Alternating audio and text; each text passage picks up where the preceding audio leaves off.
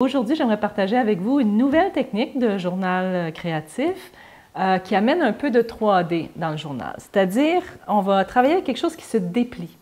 Quand ça se déplie, c'est comme si ça amenait la, dimension de l'espace. Alors, on va travailler avec la forme de l'accordéon. Tout simplement, vous allez avoir besoin de languettes de papier. Moi, j'ai pris euh, la largeur d'une page euh, régulière que vous allez plier en accordéon. Évidemment, si vous voulez faire un plus long processus, vous pouvez coller deux bouts de papier ensemble, faire un long chemin. Et la métaphore que je vais vous proposer, c'est la métaphore du chemin. Donc, euh, chaque carré va être une étape du chemin et ce qui est agréable, c'est que ça se tourne. Donc, on a un point de bascule qui nous amène dans un autre côté.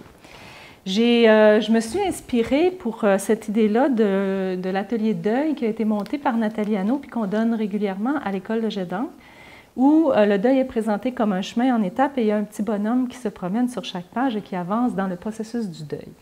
Ici, on ne va pas travailler avec le thème du deuil, quoique vous pourriez le faire, mais plutôt de tous les petits changements, tout ce qui est un processus qui est par étapes dans votre vie. Vous pouvez faire ça avec n'importe quel sujet. La vie est changement. On est toujours obligé de laisser aller des choses, s'adapter, accueillir du nouveau. Euh, et je pense que cet exercice-là est particulièrement intéressant si vous avez un changement qui est difficile. On pourrait le faire avec un changement facile. Je change de maison, je suis contente de passer à autre chose. Ça, c'est plutôt facile.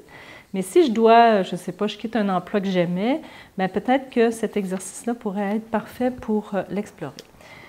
La consigne est assez simple on imagine que l'accordéon est un chemin et je vais tracer, moi je laisse à presque la moitié une ligne qui s'en va jusqu'au bout, qui est le chemin et qui continue de l'autre côté.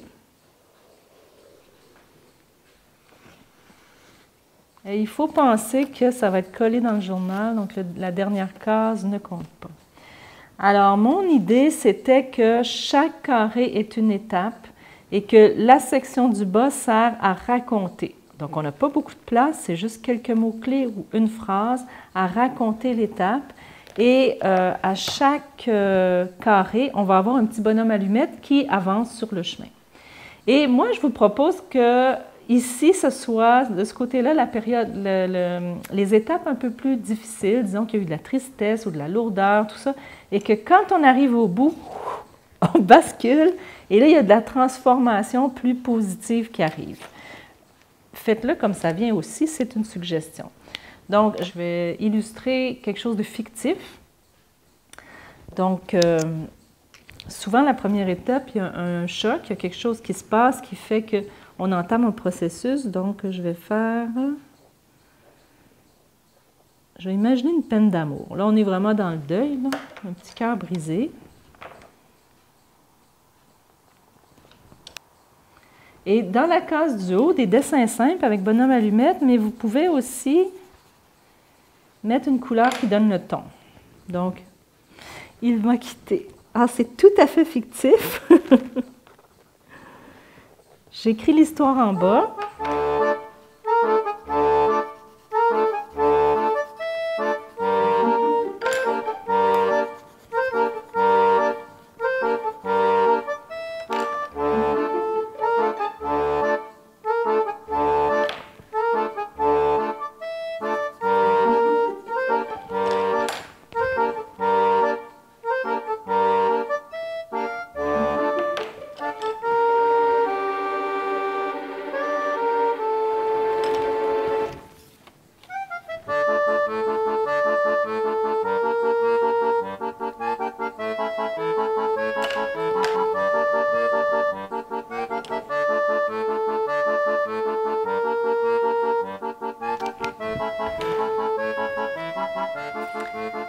Alors, euh, vous voyez l'idée, j'ai illustré quelque chose de très simple, qui est vraiment de l'ordre du deuil, mais ça pourrait être plus léger.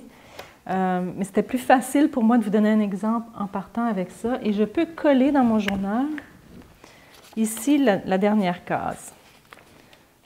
Je pourrais aussi décider de le coller à l'inverse pour voir juste le côté guéri, si on veut, qui, qui est en train de se guérir. Mais moi, je le colle comme ça et je peux le fermer, ce qui me donne le deuxième côté. et m'amuser à vraiment regarder le chemin parcouru. C'est intéressant de voir que nos états ne durent pas, ça change, ça change tout le temps. Ça peut revenir, mais on fait un chemin, pas à pas. Ce que je voudrais ajouter, c'est que si vous n'êtes pas rendu, si vous êtes en train de faire un chemin, puis vous êtes encore à l'étape d'être déprimé ou triste ou fâché, euh, vous n'êtes pas obligé de vous forcer à faire l'autre côté tout de suite, mais vous pouvez aussi simplement essayer de créer des images de ce que vous souhaiteriez pour ouvrir un peu votre perception sur, ben, ça se peut que ce soit possible qu'éventuellement ça se dégage. Donc, de le faire, on peut le faire aussi de façon fictive pour aider notre cerveau à trouver le chemin vers euh, la résolution ou l'acceptation ou retrouver la paix euh, ou la reconnexion avec ce qui est plus riche et en santé en nous. Si vous l'avez fait aussi avec un sujet plus léger, comme par exemple change de maison, vous, pourriez, mettre les étapes. Et quand vous tournez, qu'est-ce que vous voulez installer dans votre nouvelle, dans votre nouvelle maison, dans votre nouvel endroit de vie? Donc, adaptez-le selon votre besoin du moment avec l'idée que c'est un chemin avec un point tournant et euh, qu'il y a un petit bonhomme allumette qui fait une étape à la fois. Et ce que je ferai sur la page ici, c'est soit un fond avec des images de nature qui me font du bien ou une écriture spontanée qui raconte un peu mon processus avec l'accordéon. Donc c'est tout simple, je vous invite à l'essayer et ben, vous m'en donnerez des nouvelles.